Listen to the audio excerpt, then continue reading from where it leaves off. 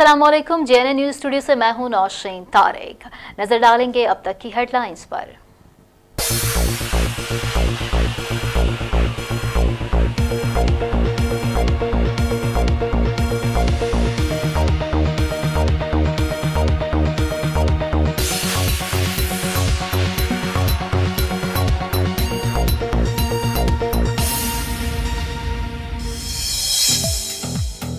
مظلوم ہزارہ برادری کے شہدہ کو آج سپرد خاک کر دیا گیا۔ مچ کے دل خراش واقعے میں شہید دس مزدوروں کی نماز جنازہ کوئٹہ کے ہزارہ ٹاؤن قبرستان میں ادا کر دی گئی۔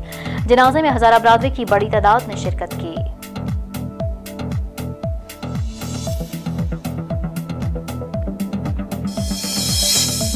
وزیر اعظم نے کوئٹہ پہنچ کر مچ میں شہید ہونے والے کانکنوں کے ورثہ سے تعزیت کی۔ سان ہے مچ میں شہید ہونے والوں کے اہل خانہ سے ملاقات کی۔ عمران خان کی زیر صدارت وزیر اعلیٰ ہاؤس میں امن و امان سے متعلق اعلیٰ سطح کا اجلاس بھی ہوا، جس میں وزیر اعلیٰ بلوچستان جام کمال، وفاقی وزیر داخلہ شیخ رشید، صوبائی وزراء سمیت آئی جی پولیس، آئی جی ایف سی اور دیگر اعلیٰ حکام نے شرکت کی۔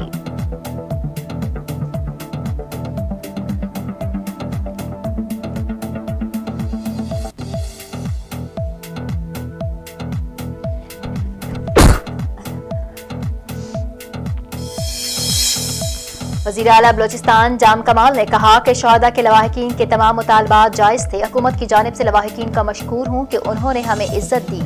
جام کمال نے کہا کہ ہم یہ نہیں کہتے کہ ساری چیزیں ٹھیک ہیں، ڈھائی سال سے حکومت اپنی ذمہ داری کو پورا کرنے کی کوشش کر رہی ہے۔ انشاءاللہ جلد ٹھیک کر لیں گے۔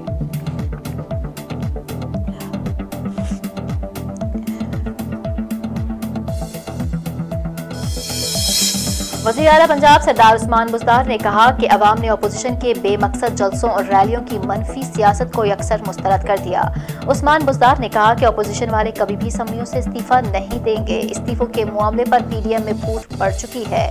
اپوزیشن عوامی مینڈیٹ کا احترام نہ کر کے جمہوری اقدار کی توہین کر رہے ہیں۔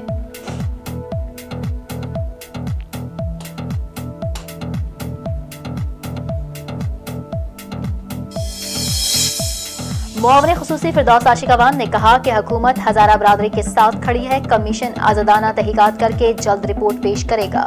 فردوس عاشقوان نے کہا کہ ستان ہے مچ کے متاثرین نے وزیر اعظم عمران خان کی آواز پر لبیک کہہ کر بائیس کروڑ عوام کے دل جیت لیے۔ کرونا کی دوسری لہر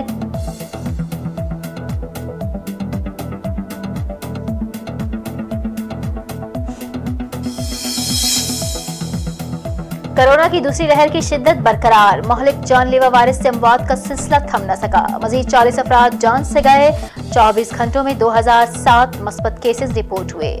کرونا کے تصدیق شدہ کیسز کی تعداد چار لاکھ ننانوے ہزار پانچ سو سترہ ہو گئی ہے۔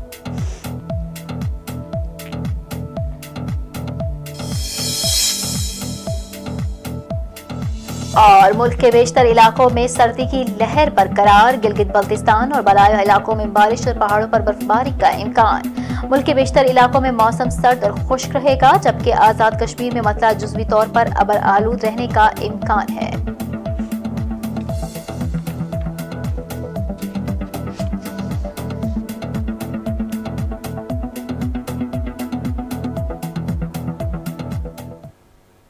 ہیڈ لائنز آپ نے جانی مزید اپڈیٹس کے لیے دیکھتے رہیے جے این.